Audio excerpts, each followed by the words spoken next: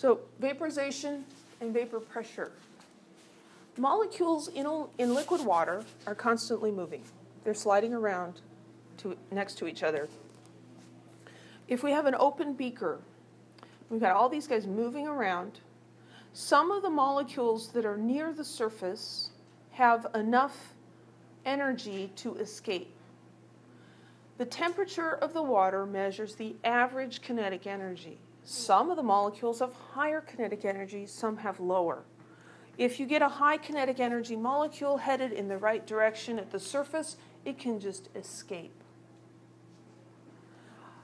Then you have water molecules bouncing around in the air, and some of them, if they're moving towards the water, when they collide with the water, they'll get trapped and they'll recondense.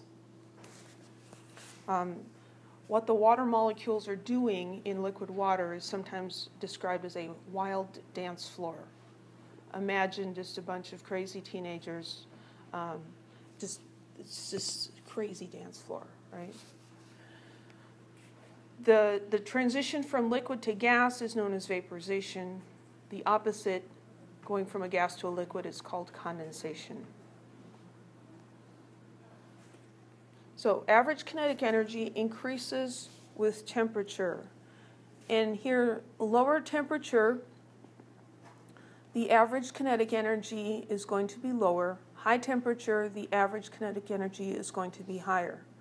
But what happens at higher temperatures is that the energy distribution also spreads out. And so up here, this is representing the minimum kinetic energy needed to escape or to evaporate.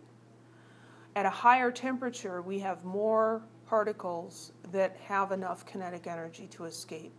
And so vaporization will occur more quickly at a higher temperature. And, and we observe that in everyday life. It rained the other day, right? And so the rain on, gets the sidewalk wet. It was cold, it was only 50 ish, right? Did the water evaporate quickly? No, it took a while for the sidewalks to dry up after it quit raining. If you take the garden hose and spray the sidewalk in August when it's 109, does it evaporate more quickly? Yeah, it does. You can almost watch it evaporate, right? It, it's just so quick at the higher temperature because more of the particles have enough energy to just get into the gas state.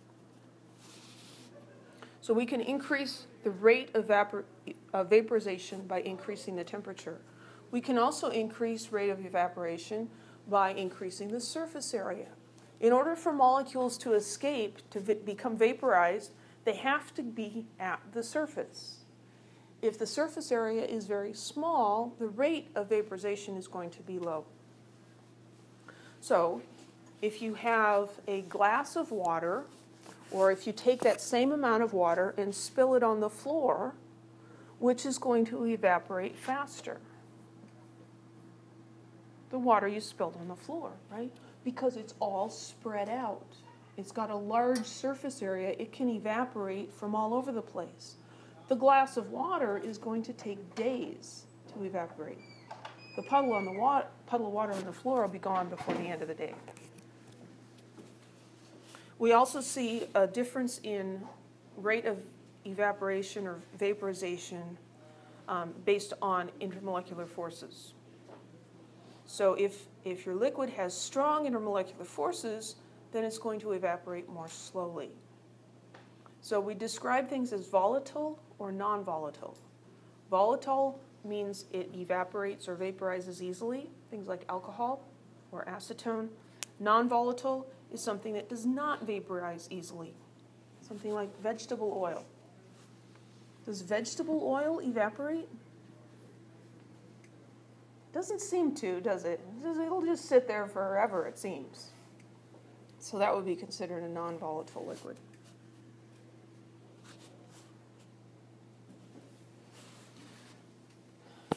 So let's think about that beaker with water in it. And let's think it, um, let's imagine that it's thermally insulated. So it's not going to be absorbing or giving off any energy to the surroundings. It's isolated.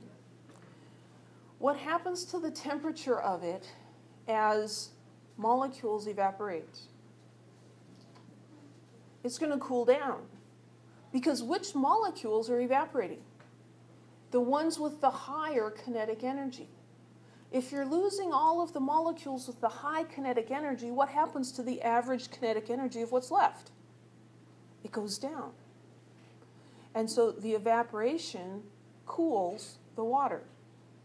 This is why when we get sweaty in the summer, it cools us off because our bodies sweat and produce moisture on our skin.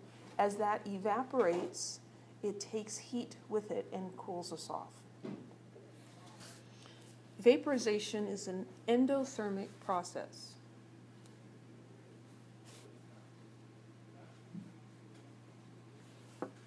If vaporization is endothermic, then condensation is exothermic.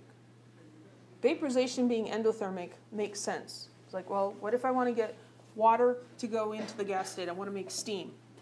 Well, am I going to put it in the freezer or am I going to put it on the stove and light the burner? I'm going to put on the stove. I'm going to put energy into it and I can vaporize the liquid faster. Endothermic process. If that direction is endothermic, the opposite of condensation has to be exothermic. When a gas condenses into a liquid, it releases energy. And this is why steam can cause a much more severe burn than hot water can. Because as the steam condenses, it releases a tremendous amount of energy, causing a burn. The energetics of the vaporization and the condensation have a lot to do with climate. Daily temperature variations in regions such as Fresno with low humidity are extreme. I mean, we can have 40 degree temperature variations from morning to night, right? It could be 60 at night and 100 during the day. Other places, like at the coast, it might be 65 at night and 70 at the hottest part of the day because there's more humidity in the air, because there's the ocean there, and the, the vaporization and the condensation moderate the temperature.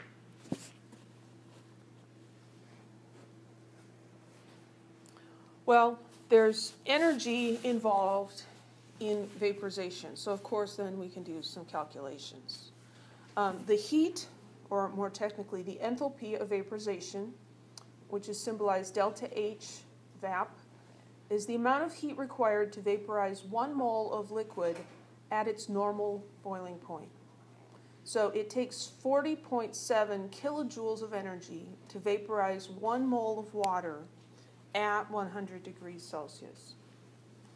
Heat of vaporization is always positive because vaporization is always an endothermic process. Um, it is somewhat temperature dependent, but not as much as you might think.